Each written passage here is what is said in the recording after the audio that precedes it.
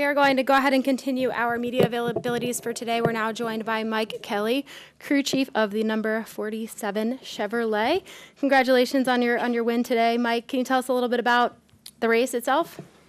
Uh, today was for us was just uh, uh, all about execution. You know, we we generally don't qualify well here. I think today or the, yesterday was our best qualifying effort on a speedway with a next gen car. We qualified 32nd, but we we won't compromise our race setup, and we uh, we generally have a pretty good race car for Ricky to be able to maneuver around and. Lot, lot of ideas on strategy and knowing these guys are racing for a championship and who's going to get stage points and we just kind of sat in our meeting on Thursday and said that man, we were going to try and win all the stage points and we were going to try and win the race. And it's easier said than done, but we executed well in the first first stage, and I think we finished second. And uh, just put a big effort into making sure that we came out of that last green flag pit stop as close to the lead as we could. And um, was able to get lined up with the Chevrolet key partner group and uh, wiggle our way in amongst those guys and and put ourselves in position at the end. And then they had that last restart there. Um, I felt pretty good about our chances, just knowing we had a lot of Chevrolets behind us, and I know some of those guys were racing for points, and they probably wouldn't do anything that would put themselves in harm's way. And uh, and we got the right push when we needed, and looked like Keselowski didn't get the push he needed at times, and uh, squeaked it out right there at the end. Awesome. We'll go ahead and open it for questions. If you have one, please raise your hand. We'll go to Jordan right over here in the gray, and then to Jeff right next to him. Jordan Bianchi, The Athletic. Um, coming to these races, you know Rick, this is Ricky Fitz Ricky's skill set. Is there more pressure on you guys because this you feel like this is your really good opportunity to kind of leave with a W? I really, I really don't know that it's more pressure. I, I look at it as more opportunity, and uh, you know, we we prepare the car the same as we do whether we're going to Charlotte next week or Kansas last week. But yeah, we, we understand our where our chances lie, and we always want to try and make sure that we have all our T's crossed and our I's dotted, and make sure we spent we spent a lot of time on strategy, and we spent a lot of time on understanding the fuel and the fuel mileage. And I hate I hate to say that from from an old school racer who's who's been coming here for about 30 years and and now that now that's a different part of the game is understanding fuel mileage and how to spend the least amount of time on pit road and we were doing we had done that really well um, I think in the fall- in the Daytona race earlier but we got bit by a caution and, and that was something we hadn't thought about was saving fuel saving fuel saving fuel and then if the caution comes out and it's in the window now you're just running 25th and uh, you're not going to have track position and, and these places are, are hard to pass so we, we changed that up this weekend and we said we re- really got nothing to lose. Let's let's not keep ourselves farther back than 10th or 12th. So, you know, we executed that really well in the first stage and I thought I was proud of Ricky and Tab, our spotter. I thought we were going to try and throw a big block on Buescher to win the first stage and we didn't need to do that. We we, we just needed to finish where it was and we finished second. And I and I, I thanked them both after that. I said, you know, we we did the right thing there. We we still got a car intact and we got a shot at this thing at the end of the day. We just need to continue to execute. And um, I knew when we were leaving pit road, we, we had to make sure we we we went a little conservative and said put a put an extra half a gallon in it, you know, for one green white checkered. And I knew some of the key partners weren't willing to do that. Um, but I saw how fast we we executed that stop and. It was all about beating the nine. For me, I felt like it was all about beating the nine car off pit road. He was the one that that basically was closest to us the beat if we didn't beat him off pit road, it, it would probably be a different day. So we got we got fortunate that we, we executed the stop and got off pit road, and it worked out for us. Uh, two more questions for me. Um, it looked like you guys had damage on the left side of the door. Um, one of the crew, chiefs on the, the pit road had said they thought that some foam was missing from your car and that maybe you should have had to come back down to pit road. I'm wondering if you can address that. Yeah, I bet they did. um, I didn't see no foam missing, but uh, yeah, no. So we did. We took a direct shot, you know, really hard. And on this car, if you want to take it somewhere, it's definitely not in one of the wheels with the toe links. They uh, they bend for a reason, and your day would pretty much be done, you know, if you've been a toe link. So it, yeah, it did. It took a it took a big shot, and um, if if they were going to pull us down for that, they would it'd probably been hard to get that car off the racetrack. Uh, last question for me. You guys are going through a bit of a transition. We know your Kroger's leaving at the end of the year. Um, kind of, can you address where you're at for the sponsorship side? I'm on the competition side, so I'm, I'm really, you know, I, I don't know. Um, I, I know I got a great, a great group of owners with, with Ernie and Gordon, and I just re-signed my deal for a couple of years, and I'm excited. We re-signed. We have an alliance with Hendrick, and uh, uh, they they help us with with Technical Alliance and Mr. H and Jeff Gordon and Jeff Andrews and Scotty Maxim. That whole group, Chad Knaus. We're we're the little team, and, and, we don't get everything we want. Um, they they give us what what we can and when when they can. Um, but yeah, I'm I'm excited about the future here. We're still a small team. There's no getting around that. It's not easy. Um, but I've told everybody last year when I took this position over that I always felt like even though if I got 30 guys working on our race team, if I got 30 guys pulling in the same direction, I, I like my chances. You know, it's it's not pretty some days. There's days we want to forget about some of the races, but there are a lot of days that man, we we know there are other teams questioning how we do what we do when we do it. Yes, sir. We'll come down here to Jeff. Um, that last stop, do you do you have any idea how many seconds of fuel you took? I know exactly how many. 4.89. Okay. Yeah.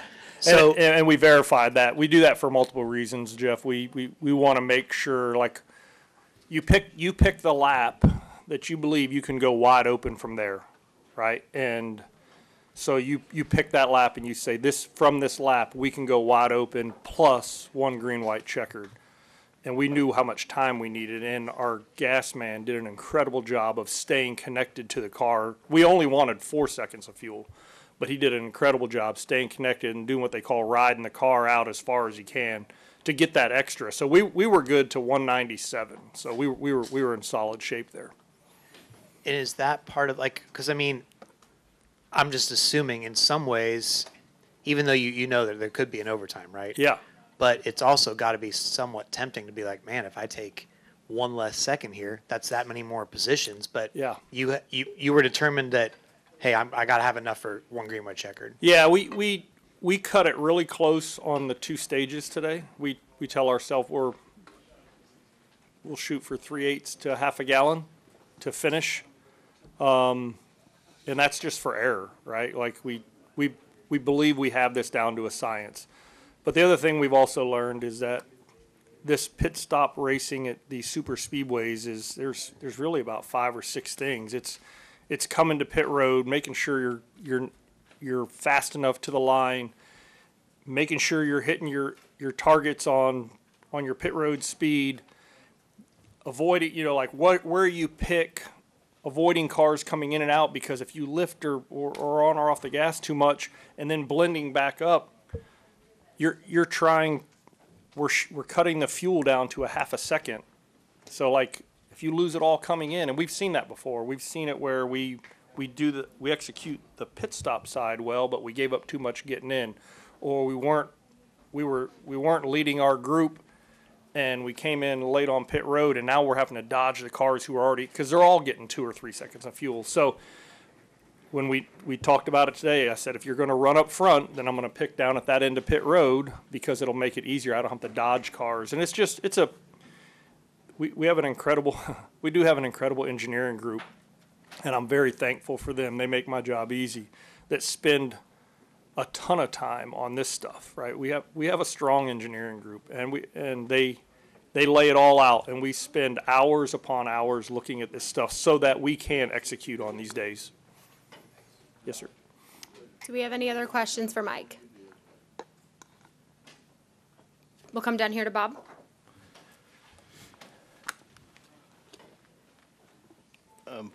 Pockrass, Fox Sports. I have a couple. The first, just there was some confusion on who was going to get towed to pit road and who Yeah. wasn't, and like, did I mean, were you paying attention to that? Did that impact any of your decisions It- there at the end?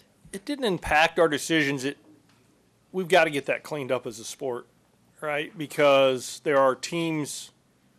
I be careful how I say this. There are teams with a lot on the line that are sitting out there just waiting on wreckers to get to them, and then they they did. I, Bob, this is my 30th year doing this. I don't know that I've ever seen them turn the yellow flag on and allow guys to work on cars while other guys are just sitting there. And I, and, and I'm sure they'll they'll think about that and talk about that because if you're if you're a guy who's sixth in the championship hunt and you're sitting there waiting on somebody to get to you, but the other guys are working on it, maybe maybe the maybe I'm looking at it wrong and the DVP clock evens it all out, but I was getting confused when Ricky kept coming by saying, there's still four cars sitting here. And, um, I'm sure they were, they were put in a tough situation with that many cars involved in that wreck and this many wreckers and some of the guys are, the, the cars looked to be damaged or in the grass. They couldn't use the airlift system. Some guys are running it, some guys are not. So it's, it's a tough situation and we'll, we'll learn from it and get better at it. But yeah, I, I, it was a lot of new things kind of happening, but it, it didn't impact ours. We were, we were worried if they just ran a bunch of laps under caution, that would, and that would have made me upset. That was kind of my follow-up, Yeah. was like, were you, were there a certain number of laps Yeah. under caution you could go before you Yeah, concerned yeah, we, fuel? we were good with, we wanted to see them, uh, take the green at least at one ninety-five for me to be comfortable, and we took it well before that. But I just didn't know when Ricky said there was, I think he told me there was still three or four cars down there. And then I, you know, I'm listening and he said, oh, the fourteen left pit road and just wrecked again or spun out again, and I, then I heard somebody say on one of the scanners that a wheel nut fell off somebody's car, and I just kept saying, man, we're, we're just gonna, we're gonna run all this fuel out under caution, and that's, that's not gonna make my day very good, so. But they got it all cleaned up and it, and it worked out, and I'm, I'm thankful for that. We'll take one final question in the back. Maxwell Donaldson, Gadsden Times. When you see Ricky go up over the fence, just what are your thoughts of just watching him, you know, do that? He climbed from like the fence into the flag stand, Oh, I he think, did. back. What is your thoughts about all that? Man, uh, I didn't get to see it, but for those of you that know or don't know, man, my, me and Ricky's got a long, long tenured relationship.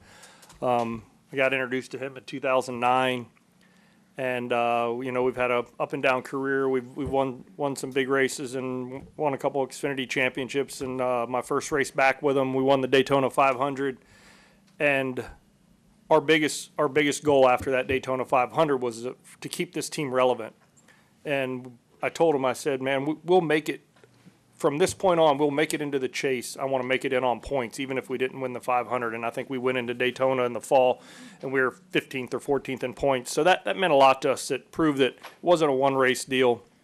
This year we've actually had a lot of opportunities to do well, and and and just one thing after another. You know, I'm not the only team sitting up here telling you that they've had bad days, but I know that kid uh, more than anybody. I've spent more time with him. Um, we talk more than me and my family do. And I know he's got my back and I got his back and I know he's going to give me 100% out there. So the trust level uh, is through the roof. And when we get to do something like this today, it just, I, I, I, I couldn't be happier and I wouldn't want to do it with anybody else. I will, I, th- I will end my career with Ricky if it's uh, next year or two years after that. I'll, I'll, this will be it for me. All right, Mike, congratulations, and thank you for your time tonight. Thank you.